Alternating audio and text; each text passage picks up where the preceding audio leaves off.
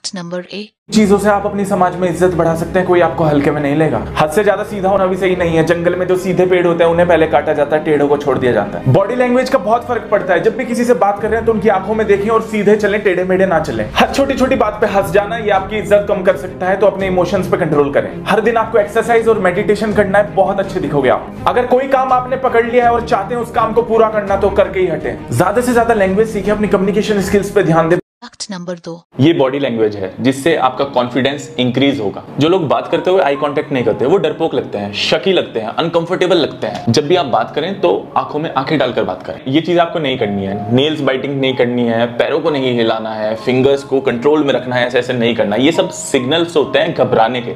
तो सामने वाला आप पे हावी होगा बात करते हुए लगेगा, यार, कैसा डरपोक सा बंदा है। जब लगे कि मेरे साथ ये हो रहा है, ये सारी चीज़ें तो आपको डीप ब्रेथिंग करनी है और अपने आपको रिलैक्स फील करना हम ह्यूमंस जब स्माइल देखते हैं तो हम रिटर्न में स्माइल करते भी हैं। तो स्माइल करने की कोशिश करें बट आपको ऐसी भी स्माइल नहीं करनी है जिससे आप सीरियल की लगो। तो आपको नॉर्मल करनी है जिससे सामने वाले को अच्छा फील हो। सीधे खड़े रहें, झुककर बात ना करें। आपके झुके हुए shoulders low value body language का एक साइन है। देखिए, कोई भी परफेक्ट नहीं है। टाइम लगता है चीज़ों को धीरे धीरे सही होने में। तो हम कोशिश तो कर सकते हैं अपनी तरफ़ से। हमें पता होना चाहिए क्या गलत है और क्या